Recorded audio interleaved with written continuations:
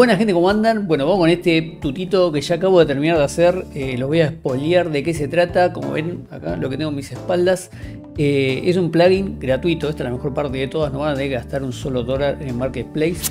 Que sirve para hacer esta, como si fueran acumulaciones de objetos. O sea, vieron cuando queríamos meter un montón de porquerías, digamos, en un escenario. Eh, y bueno, con esto podemos dispersarlos todos, que se acumulen, que caigan uno encima de otro y guardarlos todos como un solo eh, objeto. Eh, a mí me surgió la duda porque tenía que hacer algo parecido para el episodio de Eva donde los robots son impactados, entonces vuelan todos los tornillos y todo eso que tenía que quedar en el suelo, pero obviamente no iba a ponerme a poner a hacer uno a uno, ¿no? cada tornillito, ponerlo ahí. Eh, había probado con la opción de pintar como la que se usa para pintar árboles, foliage creo que se llama, pero no me servía porque quedaba todo derecho, o sea, como si hubiera caído todo perfectamente y obviamente no quedaba bien. Así que descubrí este plugin en el canal de William Faucher. Así que bueno, lo que primero que tienen que hacer es instalarlo según la engine que tengan, 5.3, 5.4. Yo instalé para 5.3 por la duda, porque como es un plugin que aparentemente tiene algunos bugs, seguramente va a funcionar mejor en 5.3 que en 5.4. Eh, una vez que lo instalan, tienen que ir a la parte obviamente de plugin, tenerlo habilitado y resetear. Esto es como algo así como la Biblia de siempre que instalamos un plugin Así que bueno, una vez que tengan todo eso instalado, ya lo pueden usar. Eh, yo me bajé acá esta cosa de Quixel para probar, que son todas estas cacharritos, herramientas, bueno, también los tornillos que tenía. Vamos a probar con todo esto. Lo que quiero hacer es, como dije, una acumulación, como hacen los acumuladores de cosas. Lamentablemente tienen esa enfermedad y acumulan, bueno, lo vamos a hacer en Unreal. Bueno, una vez que tenemos entonces lo que queremos colisionar, o sea, juntar, acumular ahí, lo primero que tenemos que hacer es que todo esto tenga colisión. Así que vamos a entrar a primero y vamos a ir acá a la pestaña de colisión y vamos a clicar acá. Una vez que tenemos esto, le damos a play y ahí vamos a ver que le hace como la malla esa, que es para que colisione. Vamos a salvar y eso lo voy a hacer para todos estos objetos. Bueno, y también tiene que tener colisión la base, ¿no? En este caso el plano ya lo tiene. Bueno, una vez que ya tenemos esto, entonces vamos a entrar acá, nos aparece acá la opción y vamos a elegir esta que dice Paint y acá ya nos aparece el menucito donde tenemos que ir a agregarle las cosas que queremos eh, juntar, digamos, ¿no?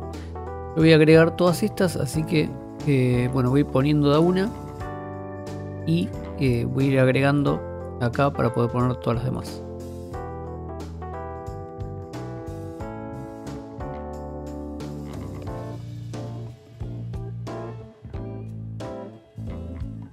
Así que bueno, ya está. Vamos a probarlo.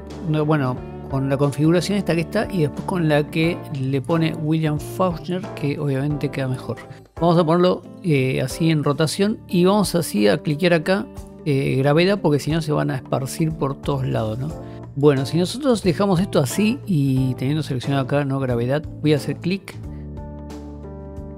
y voy a ir eh, moviéndome con el, con el mouse y haciendo clic, pero vemos que salen de arriba, de abajo para arriba, ¿no? Y nosotros lo que queremos es que todo esto caiga.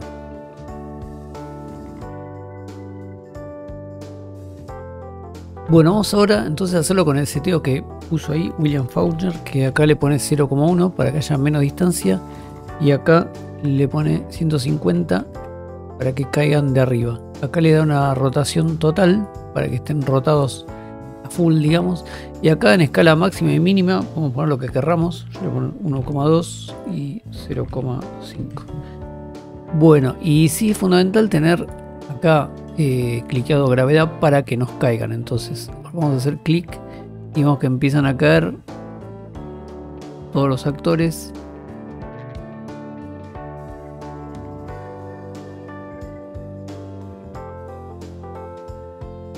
Estoy haciendo todo un saque porque la otra vez lo hice dividido en dos tandas y después tuve problemas. Bueno, toda esta pilita que ya desparramé acá es la que ahora quiero conservar como un solo actor. Entonces, eh, esto también es un problema de que se crashea el programa. Si nosotros volviéramos acá a la parte de seleccionar, eh, lo que él dice es que hay que seleccionar todos. Me seleccionó todo lo que hice, claro, porque selecciona según si yo hubiera cortado el clic, digamos, del mouse, ya sería otra tanda de actores. Ahí me seleccionó toda esta primera tanda que hice cuando hice clic y ahora tendría que hacer un bake. y ahí me los vaqueo todo en un solo actor, que es este. O sea, si yo ahora vuelvo acá a selección y selecciono este, los voy a poder seleccionar.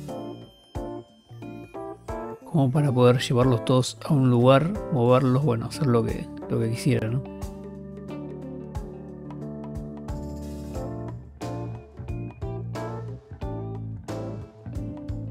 Esto si lo tenemos que poner a mano, obviamente sería un quilombo. Por eso, acá, por más que a veces tiene algunos crash, esto está muy, muy bueno. Y de todos modos, por más que los tengo acá todos seleccionados, creo que se pueden seleccionar de uno. Si yo un clic acá, por ejemplo, puedo seleccionar este y moverlo. Esto está bueno porque no tengo todo el despelote de tener todos acá, pero también los puedo seleccionar individualmente. Bueno, y también lo que puedo hacer es grabarlo como un solo merge, digamos, para poder llevarlo a otro lado, que es lo que voy a hacer yo en mi proyecto, porque si esto se me crashea, me va a complicar, entonces lo voy a armar directamente acá en un coso vacío y después lo voy a llevar. Para eso tenemos que tener acá la opción de actor. Esto si no les aparece, depende el tipo de la show que tengan. ¿eh? Puede ser, creo que en este aparece, a veces cuando lo tengo así no aparecía. Pero bueno, eh, lo tienen que buscar ahí y acá tienen que elegir Merge Acto Merge. Y acá ya le podemos poner un nombre. Voy a poner una carpeta nueva y le voy a poner este nombre de acumula.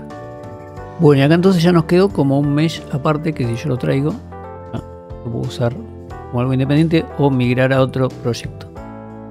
Bueno, hasta acá lo que se puede hacer con esto, ustedes probarán y harán sus propias acumulaciones.